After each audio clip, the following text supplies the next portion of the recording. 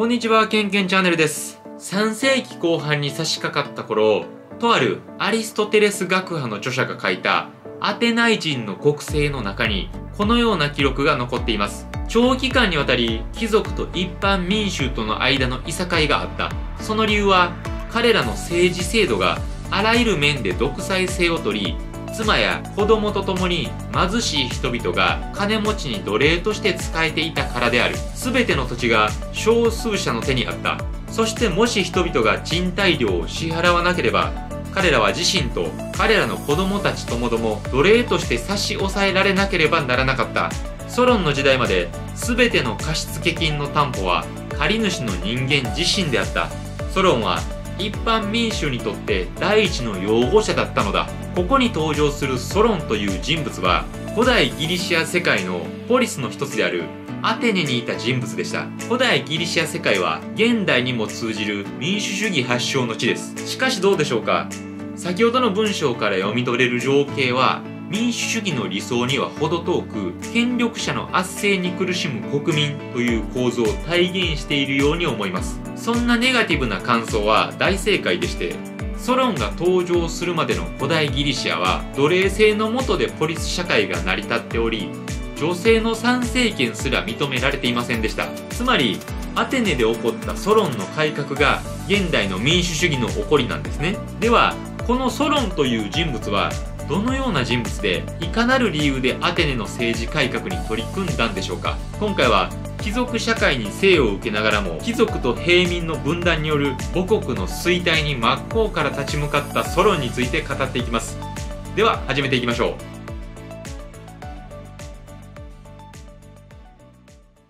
ソロンが生まれたのは紀元前638年頃のアテナイでした。このアテナイという土地は特に肥沃な大地があるというわけではなかったんですが、営議会や国会での海上交易に必要不可欠な立地条件を有していたために、交易都市として発展しておりました。そんなアテナイにおいて、ソロンの一族は莫大な資産を持っていたというわけでもなかったんですが、一応当時の名門貴族の生まれだったそうです。ソロンの父はエクセスティディスという人物で、非常に心優しい人柄で自分を頼ってくる者に対して援助を惜しまない人だったそうです。人徳のあるといえば聞こえはいいんですが、周りからはカモにされていたみたいでして、金に困った知人は、このエクセステディスに金を借りに行っていたみたいですね。当時のアテナイの常識として、金を返さない者は、金を貸した債権者の奴隷にならなければいけなかったんですが、なぜかソロンが家督を継いだ頃には家の資産が底を突きかけていたということですのでまあお父さんは根っからのお人をして全ての借金を踏み倒されていたんでしょうね。そんなわけで若き日のソロンは稼がなければなりませんでした。彼は海外を回ってアテネ人が得意とする交易事業に精を出していったわけです40歳になったソロンがアテネに戻ってくる頃には彼の財力は貴族の中でも中流階級並みのものにまで回復はしていたんですが、彼の目に飛び込んできた祖国の景色は散々なものでした。貴族と平民の対立はさらに激しさを増し、既得権益はもはや悪の温床と化していたんです。貴族がいくら偉かろうと平民も国民です。小作人や農奴が作物を育ててくれるからこそ国民は生きながらえることができるわけです。しかし、アテネで起きていたのは出生や職業による区分とあまりにもひどい格差による社会の崩壊でした。ソロンは自らの詩の中でアテナイ人は市民自身の抑制のない強欲と傲慢さに由来する危機に瀕していると説きました。そして階層間の構想を一刻も早く解消しなければならないと感じていたのは他ならぬ貴族でした。しかし自分たちが折れる形での解決は望んでいない。そんな時に貴族でありながら諸外国を渡り歩き、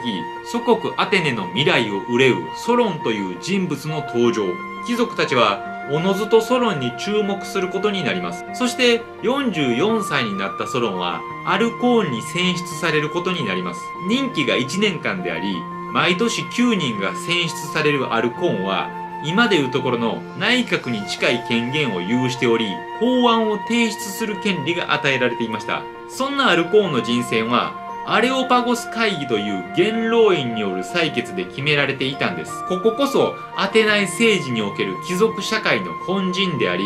アテナイ腐敗の温床だったわけです。アレオパゴス会議でアルコーンに選出されるのは貴族階級のものに限定されるわけですからおのずと貴族優位の社会が形成されるというわけなんです。ただこの時ソロンが選出されたということはアテネが抱える問題に元老院さえも目を背けることができなくなっていたというわけなんですね。貴族たちはソロンをアルコーンに選出した上で彼に改革という任務を与えたわけです。そんなソロンがまず着手したのは債権者と債務者の関係です。ソロンの生い立ちを紹介した際にも述べましたが、金を返せない者は金を貸した債権者の奴隷になるというのが当時のアテナイの常識でした。これをホロイと呼んでいたんですが、一度ホロイ制度によって奴隷に失墜すれば、這い上がるのは至難の技だったそうです。債権者の土地の工作に従事させられて、収穫のたびにその一部を献上し、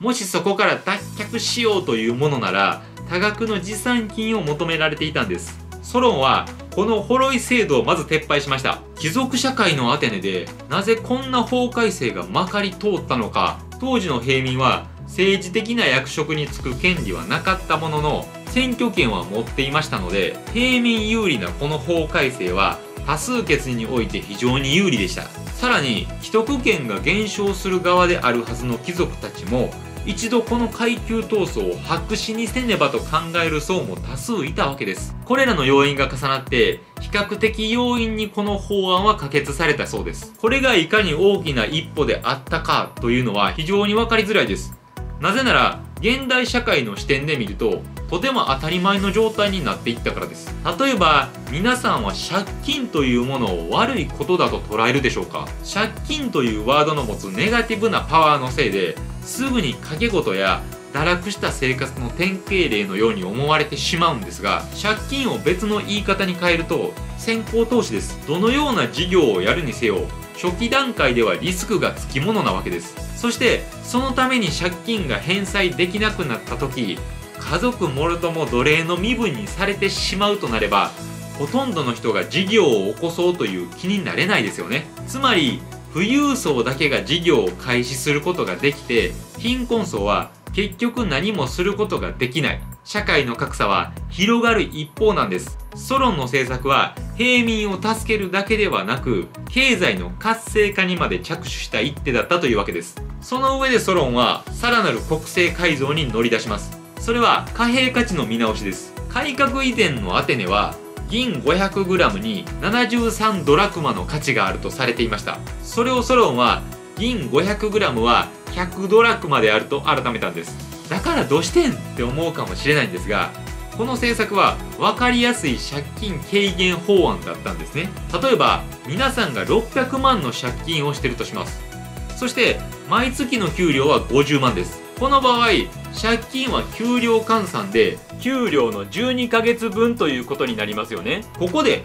今まで1万円だった価値が1万2000円に変わったら毎月の給料が60万になりますよね。すると何ということでしょう。借金は給料の10ヶ月分になってしまいました。つまりこの改革は貨幣価値を操作することにより約4分の1もの借金をチャラにしてしまうキャンペーンだったというわけです。この法案の採決にあたって貴族たちから大きな反発があると思いますよね。ところがどっこい貴族たち富裕層もこの法案に賛成の票を数多く投じたそうです。なぜでしょう？実はこの法案にもプラスの側面があったんです。ドラクマの貨幣価値切り下げを知った他国の商人がアテネとのビジネスに注目したんです。これに対するアテネの対応はおおむね歓迎というものでした。多くの外国人商人を受け入れたそうです。しかし何年間アテネで商売を続けて定住し続けたとしても市民権は与えられなかったそうです。一説には家族全員が引っ越しをすれば市民権は認められた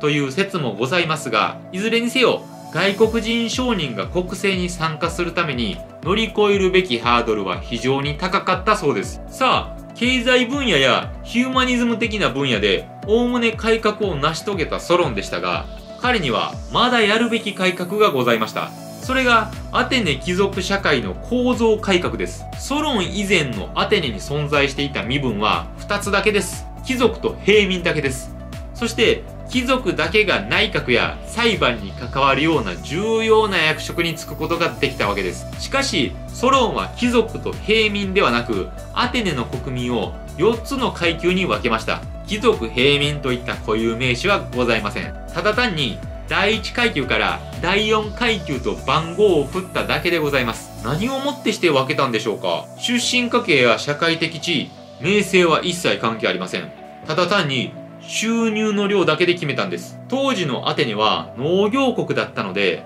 収入量も農産物の収穫量から判断できます。まず第1階級。これは200トン以上の小麦を収穫できる土地の所有者が該当していました。そして第2階級はこれの少し下で120トンから200トンほどの収穫が期待できる土地所有者としました。いわゆる内閣や上級裁判に参加できたのは第1、第2階級の国民だけだったそうです。第1、第2階級の人たちは国政への参加の権利が認められたんですが、見返りも求められました。それは血の血税、兵役です。彼らに課されたのは騎兵としての兵役です。